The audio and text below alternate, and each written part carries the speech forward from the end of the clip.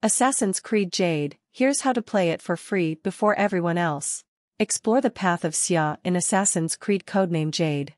Set in the 3rd century BC during the time of one of the first unified empires in China, an unprecedented era of trade and cultural exchange between East and West is just beginning, but with this comes new challenges and threats lurking in the shadows. From August 3, 2023, you will indeed be able to play Assassin's Creed Jade for free thanks to a closed beta. The invitation will be sent immediately, the pre-download will start on August 1, 2023 and the test will end on August 11, 2023.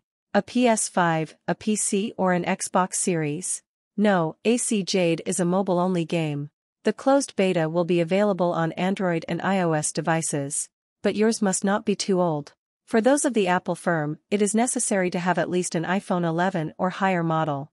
As for those in the Google ecosystem, you must check to have a smartphone or tablet with a Snapdragon 865 processor, or higher, running Android 10, or higher. As the adopted child of the Master Wei Yu, players will set out on a quest for revenge after their close friend is betrayed. But as they delve deeper into their mission, they will uncover secrets about the past and a powerful force that threatens to destroy everything they hold dear. As for the game itself, it will take you to China in the 3rd century BC to follow the story of Xia.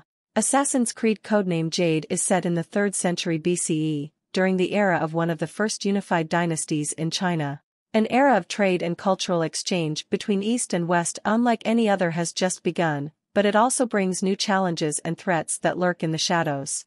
From the Great Wall on the outer borders to the imperial capital of Xianyang, players will be able to traverse a world filled with ancient history and hidden dangers, defend against the Xiongnu and dismantle conspiracies, all while taking on greater responsibilities.